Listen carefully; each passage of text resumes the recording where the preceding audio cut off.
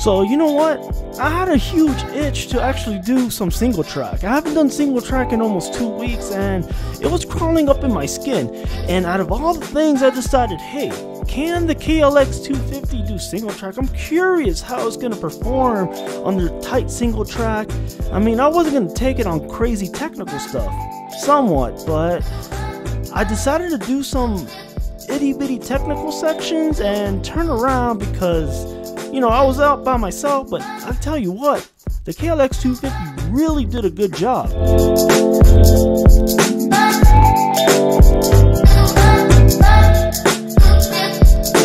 What's going on everybody? Riding with Will right here and uh, I kind of wanted to see how the KLX does on uh, single track. There's 770 out here somewhere. This has two 770. 770 is, looks like it's right there on the right.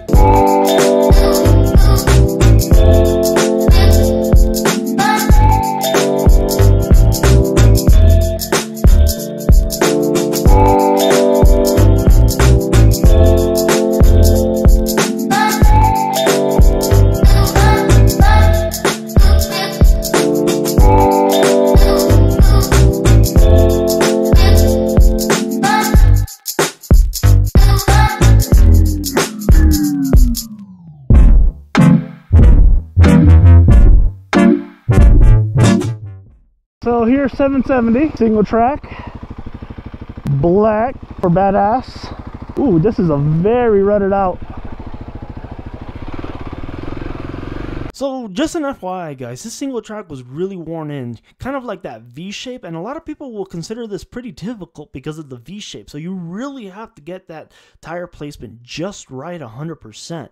Also, I was by myself, so I kind of wanted to take it easy in case, you know, anything goes wrong, I'm by myself. Definitely a 300 pound dual sport is really hard to manage on your own, especially if you drop it. So that's the only bad part about this KLX 250 is just if you drop it. Stuff like this make me nervous. okay, that was good. All right, had my first spill.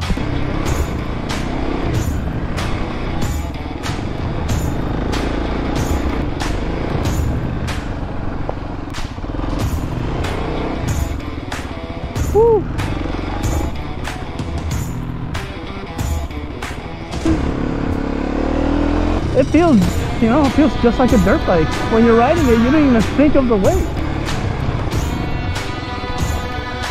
You know, I was really impressed with the KLX 250. It handles just like a dirt bike. It feels just like a dirt bike until you drop it, of course, but that is a no-brainer.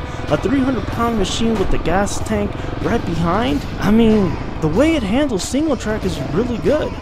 I'm really surprised how well Kawasaki made this bike, and the suspensions weren't even that bad neither. They were nice and plush and really comfortable. Ah, this is a fun little single track, man. That looks a little nada. So yeah, I mean, it is a bit of a workout, but nothing too crazy, you know? Steep climb, you know, no problem. You really, the only thing I do notice on the KLX is uh, you really have to commit, like on like steep obstacles and stuff. So I feel like the turns are a little bit harder on this guy. Not terribly hard, but so for you guys who follow me know exactly that I'm a new rider. I haven't even reached my year mark, and here I am with a 300 pound machine doing uh, tight single track. And believe me guys, this is a tight single track. I know video does not do justice, but some parts are locking your handlebars type of turn. And a 300 pound machine is totally capable, especially the KLX 250. So yes, the KLX 250 can really do single track, no problem at all. You probably don't even need a $10,000 bike. This $5,000 machine is more than enough.